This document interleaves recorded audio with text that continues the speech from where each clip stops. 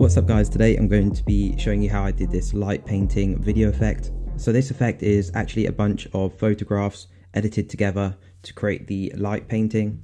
This short video clip is actually made up of 21 photos. So I took these photos in a completely dark room with an LED light and my settings for each photo was a 0.8 shutter speed, an f14 aperture, and an ISO at 100 and I had my camera in continuous photo mode so as I held down the shutter it would just keep taking photos in sequence and then I would just slowly move the LED light around the subject until I had at least 20 photographs.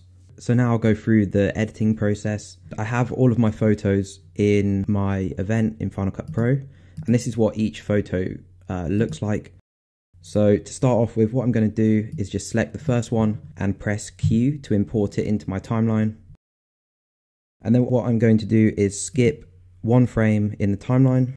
So you want to zoom in so you can see each frame in the timeline. And you can either use your arrow key on the keyboard to skip a frame, or I'm just going to click onto the next frame. And then I'm going to select the next clip, press Q. So it's overlapped a frame ahead of the one before. And then click on the next frame, select it and press Q. And I'm just going to keep doing this until I have all of my photos in the timeline.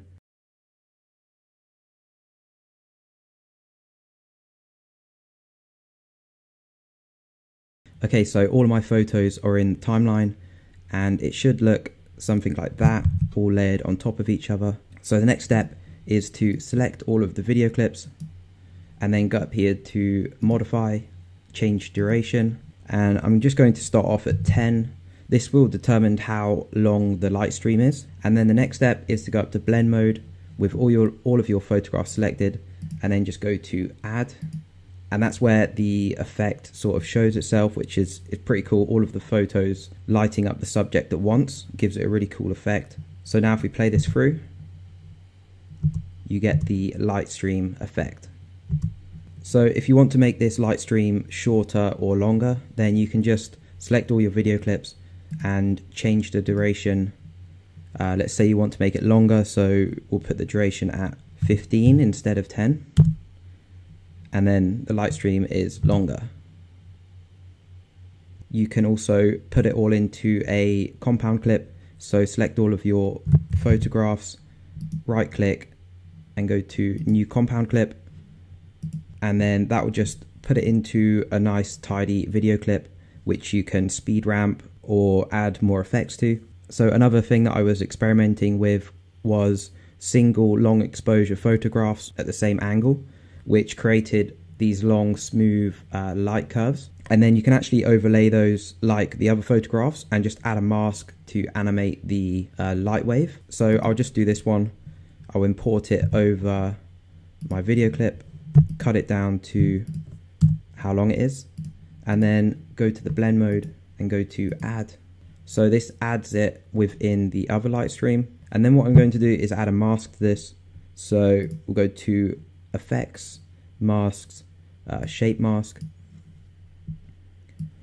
and we'll turn this into a small circle and with a big feather. And then if we go to the transform hit the keyframe button on all of these, making sure you're at the start of your video clip and just bring it to the start of the wave, just off screen, and then go to the middle, bring it to the middle of the wave, and then go to the end and follow the wave off of the screen. So now it sort of animates the wave. So now if I play the original and the other light wave, it just adds another element to the effect. You can see it in the background.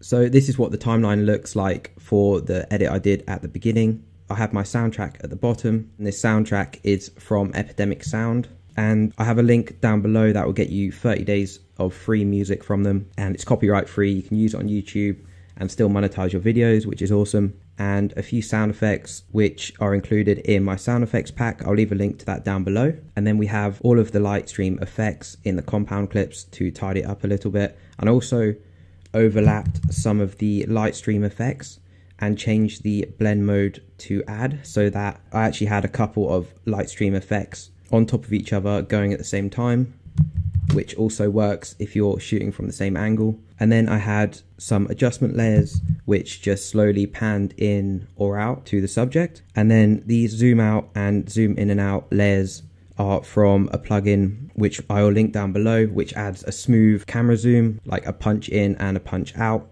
and also a couple of other extra bits within that plugin. And then I had my final adjustment layer on the top with the color correction with a custom LUT called Crimson from my new LUT pack, which you can check out, link in description. And yeah, that's pretty much it for that one. A super cool effect. I hope you guys enjoyed this video and I'll see you in the next one.